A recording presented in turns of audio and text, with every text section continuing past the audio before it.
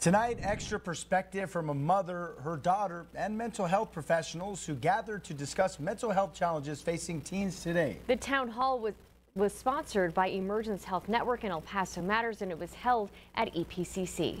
ABC 7's dedicated Be Mindful reporter Avery Martinez brings us extra depth on student mental health. Well, you can see that this is an important issue, and there were talks in progress throughout the day about these important topics.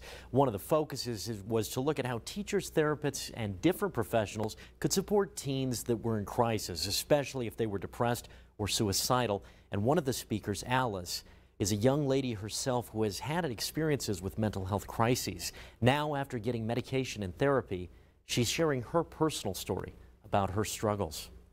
When I got my help, it was actually when I was at, if I may say this, at the verge of me almost committing suicide.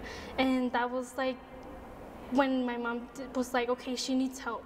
Alice is now 18, and after medication and treatment, she feels far away from that dark space. Her mother was instrumental in supporting her. Gisela knew something was wrong and tried to figure it out.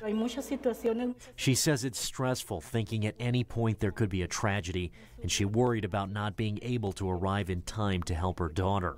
They're now spreading her message of hope. Both joined a panel of experts, including Alice's therapist, to speak about what teens face in the modern world and how it affects mental health.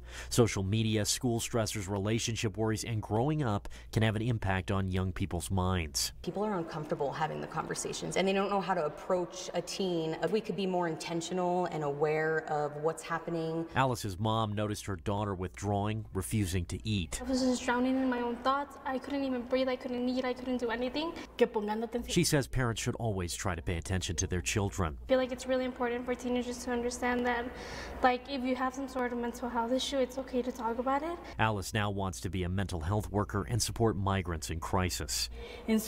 Alice's mom says a few weeks ago her daughter told her she can't believe how beautiful life is. But I'm definitely way better than I was before. I I've grown out of like my anxiety and my depression.